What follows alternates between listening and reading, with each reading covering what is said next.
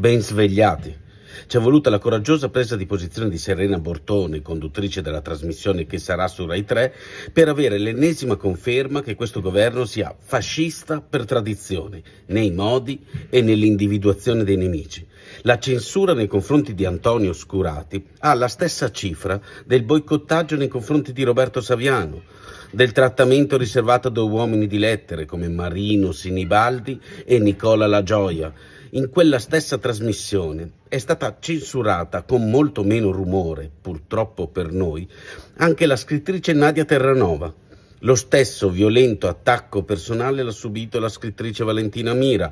È la stessa violazione di libertà di espressione che sta nelle decine di querele di esponenti della maggioranza di governo nei confronti di quotidiani come Domani. Personalmente, alla notizia, ho ricevuto negli ultimi 12 mesi più della somma delle querele governative ricevute in 30 anni di scrittura.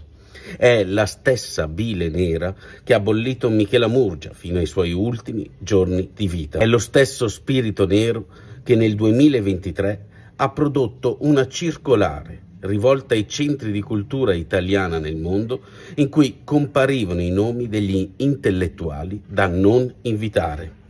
La radice è sempre la stessa. Non è stata la RAI a censurare Scurati, crederlo è da ingenui.